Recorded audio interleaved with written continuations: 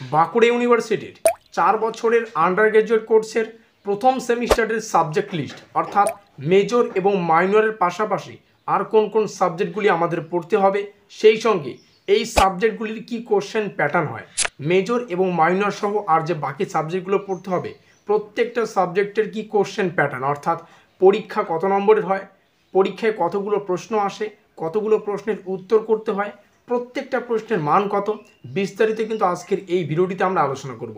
দেখো ডেসক্রিপশন বক্সে একটা হোয়াটসঅ্যাপ গ্রুপের লিঙ্ক দেওয়া আছে, যেটা স্পেশালি প্রথম সেমিস্টারের ছাত্রছাত্রীদের জন্যই বানানো। প্রথম সেমিস্টারের শুরু থেকে পরীক্ষা অবধি যত আপডেট অর্থাৎ কবে পরীক্ষার ফর্ম ফিল করতে হবে, এই ধরনের যত আপডেট আসবে, আমরা কিন্তু এই হোয়াটসঅ্যাপ গ্রুপেই সর্বপ্রথম আপডেট করে দেব। কাজেই খুব ভালো হবে যদি আমাদের হোয়াটসঅ্যাপ গ্রুপে যুক্ত হয়ে নাও। তো যাই হোক, শুরু করছি আমাদের আজকের এই স্পেশাল ভিডিওটি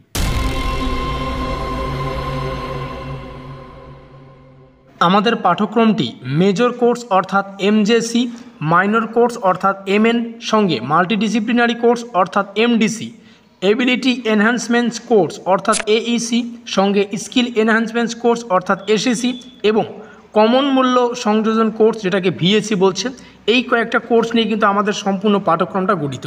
অর্থাৎ আমাদের মেজর কোর্সের একটা মেজর সাবজেক্টের পরীক্ষা দিতে হবে। সঙ্গে minor subject MDC subject AEC subject ACC subject এবং ভিএসি সাবজেক্ট এই কয়েকটা সাবজেক্টের কিন্তু আমাদের পরীক্ষা দিতে হচ্ছে। এবার আমাদের মাথায় কিন্তু এই প্রশ্নটা এখনও থেকে যাচ্ছে, কোন কোর্সের কি কোশ্চেন প্যাটার্ন একটা বিষয় এখান থেকে বুঝে নাও, তোমাদের মেজর কোর্সে যে কোনো সাবজেক্ট থাকতে পারে। বাংলা থাকুক ইংলিশ থাকুক পলিটিক্যাল সায়েন্স থাকুক এডুকেশন থাকুক ফিলোসফি থাকুক, তো মেজর কোর্সের যে কোনো সাবজেক্ট থাকুক না কেন, সেই সাবজেক্টটির কিন্তু একটাই কোশ্চেন প্যাটার্ন হবে। তো চলো কোশ্চেন প্যাটার্ন এবং নম্বর বিভাজনটা দেখে নেওয়া যাক। এখানে দেখো স্পেশালি বিষয়টা লেখা রয়েছে প্রতিটি কোর্স, অর্থাৎ মেজর বলো মাইনর বলো এমডিসি বলো মানে যে কয়েকটি কোর্স আমাদের পড়তে হচ্ছে, প্রত্যেকটা কোর্সের কিন্তু পঞ্চাশ নম্বরের পরীক্ষা, অর্থাৎ টোটাল পঞ্চাশ নম্বরের মধ্যে পরীক্ষা হবে। এই পঞ্চাশ নম্বরটাকে দুটো ভাগে ভাগ করা যায়। একটা ভাগ হচ্ছে, এখানে আলোচনা করছি, একটা ভাগ দশ নম্বরের অভ্যন্তরীণ, অর্থাৎ স্কুল লাইফে যেমন তোমাদের প্রজেক্ট ওয়ার্ক ছিল, তো এখানে পি লিখে দিলাম পিআরও তো প্রজেক্ট ওয়ার্ক একটা টাইপ যেটা দশ নম্বরের হবে, আর দ্বিতীয়টা হচ্ছে চল্লিশ নম্বরের লিখিত পরীক্ষা। এখানে চল্লিশ নম্বর লিখে দিলাম। এটা দুই নম্বর পার্ট অর্থাৎ দুই নম্বরটা হচ্ছে চল্লিশ নম্বরের লিখিত পরীক্ষা। এখানে লেখা আছে, দেখো, শেষ সেমিস্টার পরীক্ষা। অর্থাৎ এই পরীক্ষার মাধ্যমে মানে যে পরীক্ষার মাধ্যমে তোমাদের প্রথম সেমিস্টারটা শেষ হবে, যেটাকে ইএসই বলে। ইএসই কথার অর্থ হচ্ছে এন্ড সেমিস্টার এক্সামিনেশন বোঝা গেল? তো টোটাল আমাদের প্রত্যেকটা সাবজেক্টের পঞ্চাশের মধ্যে পরীক্ষা। এই পঞ্চাশ নম্বর, দশ নম্বর হচ্ছে ইন্টারনাল অর্থাৎ আমাদের প্রজেক্ট ওয়ার্ক একটা হবে যেটা কলেজে গিয়েই দিতে হবে। আর চল্লিশ নম্বর আমাদের লিখিত পরীক্ষা। তবে এখনও এই প্রশ্নটা থেকে যাচ্ছে, আমাদের যে চল্লিশ নম্বরের লিখিত পরীক্ষা হবে, সেই পরীক্ষার কোশ্চেন প্যাটার্ন কি? সেখানে কতগুলো প্রশ্ন আসবে। এটা তো বুঝতে পারলাম যে দশ নম্বরের অভ্যন্তরীণ মানে ইন্টারনাল ইভলিউশন বা প্রজেক্ট ওয়ার্ক হবে, যেটা দশ নম্বরেরই প্রজেক্টটা তৈরি করতে হবে। কিন্তু প্রশ্নটা এখনও থেকে যাচ্ছে, চল্লিশ নম্বরের যে আমাদের লিখিত পরীক্ষাটা হবে, সেখানে কতগুলো প্রশ্ন আসবে, কতগুলো প্রশ্নের উত্তর করতে হবে, প্রত্যেকটা প্রশ্নের মান কত। তো সেই বিষয়টা এখন আমরা এখানে আলোচনা করছি। তো ঠিক যেমনটা আমরা জানতে পারলাম, প্রত্যেকটা কোর্সের আমাদের পঞ্চাশের মধ্যে পরীক্ষা হবে টোটাল তার মধ্যে দশ নম্বরের অভ্যন্তরীণ এবং চল্লিশ নম্বরের শেষ সেমিস্টার পরীক্ষা। তো এখান থেকে স্পেশালি আমাদের কোশ্চেন প্যাটার্ন এবং নম্বর বিভাজনটা শুরু হচ্ছে। দেখো এখানে আমরা স্পেশালি দেখতে পাচ্ছি, এখানে লেখা আছে ইএসই অর্থাৎ এন্ড সেমিস্টার এক্সামিনেশন আমাদের যে চল্লিশ নম্বরের হবে। এই চল্লিশ নম্বরের নম্বর বিভাজনটা আমরা এখানে দেখতে পাচ্ছি, দেখো। তো চল্লিশ নম্বরের মধ্যে যে নম্বর বিভাজনটা, সেটা আমরা এখানে দেখব। আমাদের পরীক্ষার প্রশ্নপত্রের ঠিক প্রথমে মানে এক দাগে যেখানে আমরা প্রশ্নাবলী শুরু হচ্ছে আমাদের পরীক্ষায়। তো সেখানে দুই নম্বরের আটটি প্রশ্ন আসবে, সেখান থেকে পাঁচটা প্রশ্নের উত্তর করতে হবে। ফাইভ ইন্টু টু এখান থেকে দশ নম্বর। কথা ক্লিয়ার তার পরের দাগে পাঁচ নম্বরের ছটা প্রশ্ন আসবে, সেখান থেকে করতে হচ্ছে চারটা। এখান থেকে আমাদের টোটাল ফোর ইন্টু ফাইভ অর্থাৎ কুড়ি নম্বর। তারপরে আমরা দেখতে পাচ্ছি আমাদের পরীক্ষার প্রশ্নপত্রটির ঠিক শেষে দশ নম্বরে দুটো প্রশ্ন আসবে, সেখান থেকে প্রশ্নের উত্তর করতে হচ্ছে একটা। অর্থাৎ এখান থেকে টোটাল দশ নম্বর। আমরা যদি যোগ করি, এখানে দশ, এখানে কুড়ি, অর্থাৎ তিরিশ, এখানে দশ, চল্লিশ।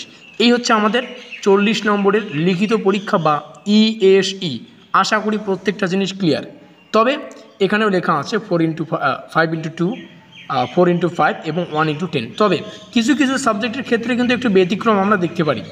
এসইসি সাবজেক্টের ক্ষেত্রে ব্যতিক্রম রয়েছে কি ব্যতিক্রম?